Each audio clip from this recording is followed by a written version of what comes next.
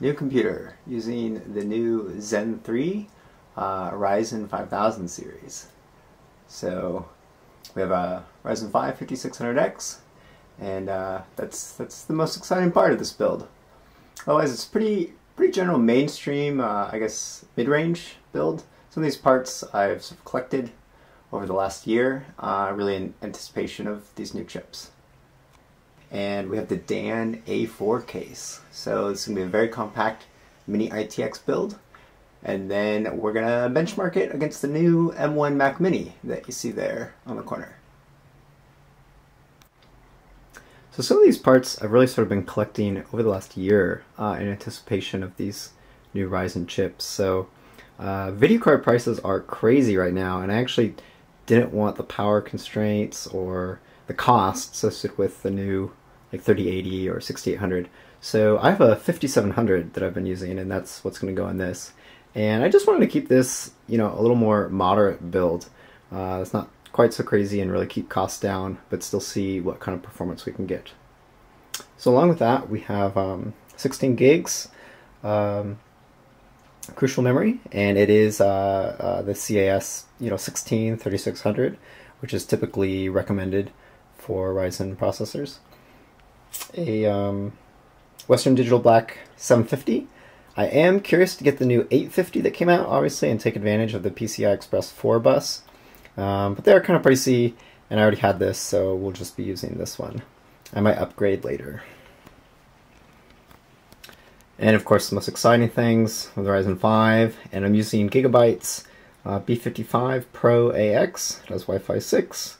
That's a mini ITX board, and it's typically reviewed as one of the best ones.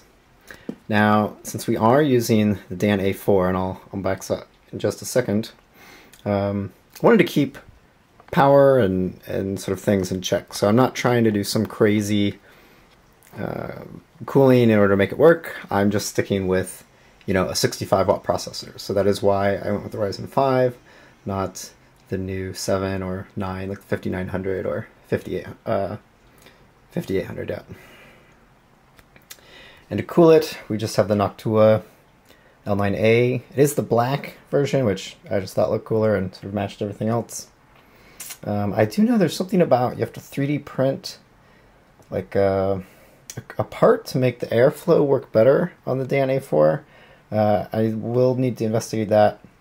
I'm hoping, honestly, I'm hoping I won't need to, but we will see.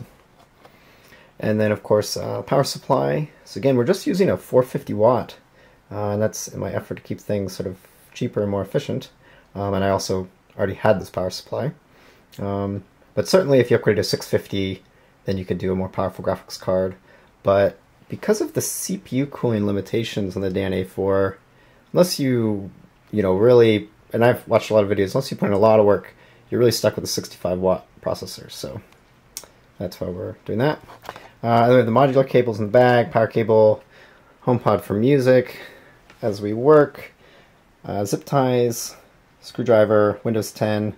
I have the latest October update, Windows 10 on a flash drive, and a pocket knife for opening things. So yeah, we're pretty much ready to get building. I should mention uh, I have these two LED lights. They're desk lights by Xiaomi, and they're pretty great. Um, so I actually ordered one and I got an extra one and didn't know what I was going to do with it until now. And it makes for a nice uh, workbench environment. And yeah, I'm using a fully standing desk, uh, which is my normal desk, but it also works as a good workspace. And uh, you see that's actually my older PC, which is a Ryzen uh, Zen 1 1700X uh, on a full mid-tower ATX case. Um, and yeah, my iMac's hiding in the back, so uh, I've got uh, too many gadgets, one might say, but uh, they're all fun, and as a designer and developer, they all serve their different purposes. You can see the whole setup, and uh, I'm excited, so let's get to it.